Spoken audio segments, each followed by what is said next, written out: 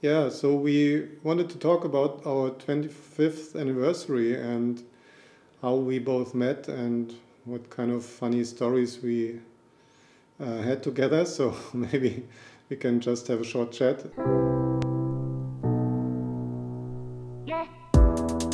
There was a technology company called Nanocosmos who said, you know, we have something interesting. But, you know, what what I remembered of it was that timing was perfect. You know, what was the big, um, you know, development there? The big development was that we did TV on a PC. And what you as Nanocosmos was uh, were adding as value to, you know, the proposition we had at that time was the capability of recording in software.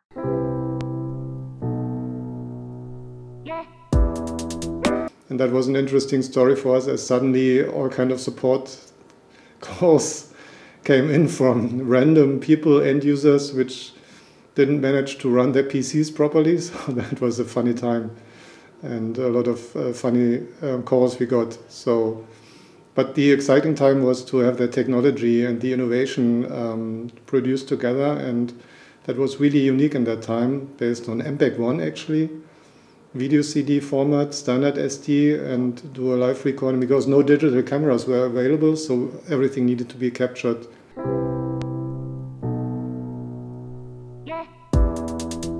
We touched base again.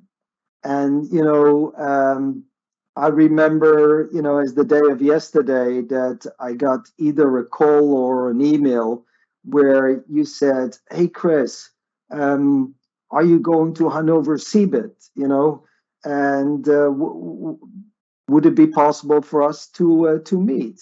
And I sh- I said sure, and I guess it was 2008 or 2009. You know, already 14 years ago. Uh, that uh, you know, uh, I took um, the opportunity and uh, to come to to Hanover, and guess what? You were showing innovation again you know, what was it what you were showing at that time, Oliver? that, that's true. It was 3D stereoscopic video streaming, live streaming based on two cameras side by side. That was the days where these new stereoscopic technology evolved. Um, movies like, what was it called, from James Cameron? Avatar. Avatar, right? Coming out mm-hmm. into the cinemas. Displays were capable of displaying um, stereoscopic video, etc. So we created a solution around that um, to enable live streaming from stereoscopic cameras. And that was also quite exciting.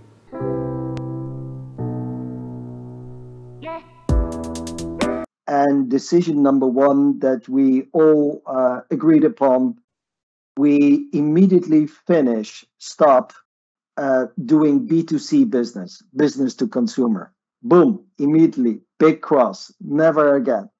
So we decided we will do B2B.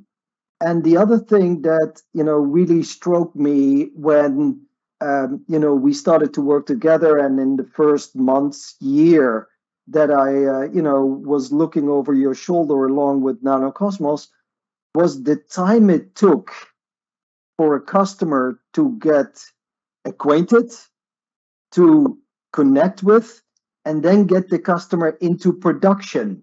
I still remember that at those days, it took us a year from the first moment we connected with a customer until a customer was in production. And, you know, we also very early on said, you know, if you want to run a business, this is not the way forward. Absolutely. So, being one of the first who created a low latency solution for iPhones was really kind of enabler for certain use cases.